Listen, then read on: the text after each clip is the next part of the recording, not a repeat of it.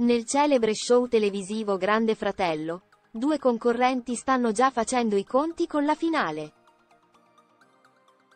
Beatrice Luzzi, la cui presenza è nota da settimane, e Rosy Chin, recentemente nominata, si avvicinano alla fine del gioco. Anche se la serata culminante, quella che proclamerà il successore del premio di questa stagione estesa del programma, è ancora a venire, i fan sono in trepidante attesa. Il nome del vincitore non è più un segreto. Ecco perché.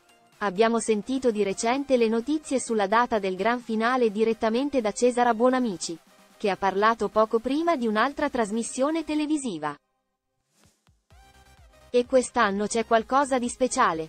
Per la prima volta, i partecipanti al Grande Fratello celebreranno all'interno della casa non solo il Natale ma anche le vacanze di Pasqua, con la puntata conclusiva prevista per il 4 aprile, come confermato da un noto commentatore del programma. Fiordaliso sconvolge tutti. Rivela il vincitore del Grande Fratello e spiega perché. Chi vince il GF? Le previsioni di Fiordaliso. Quest'anno la Pasqua cade il 31 marzo. Il giorno dopo ci sarà la Pasquetta. E si prevede che il reality non andrà in onda in quella data, per poi concludere con il finale a breve termine. Ma la domanda rimane. Chi sarà il vincitore?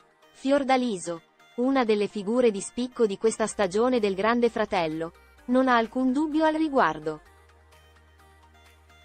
In una recente intervista concessa al giornale Chi, la cantante ha confessato che, Beatrice vincerà sicuramente e se lo merita.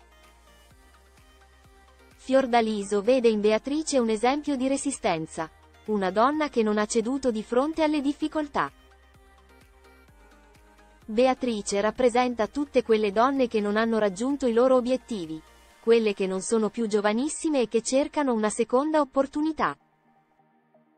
Si è anche espressa su un altro tema delicato, è un peccato che alcune concorrenti forti non siano riconosciute come tali dal pubblico, prendendo l'esempio di Anita, che, nonostante sia apprezzata da Fiordaliso, viene criticata per la sua bellezza e giovinezza, caratteristiche che prima erano viste come vantaggiose ma ora sembrano essere diventate un ostacolo.